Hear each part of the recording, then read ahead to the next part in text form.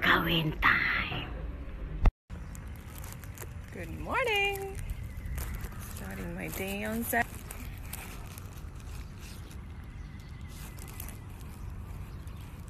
So nice.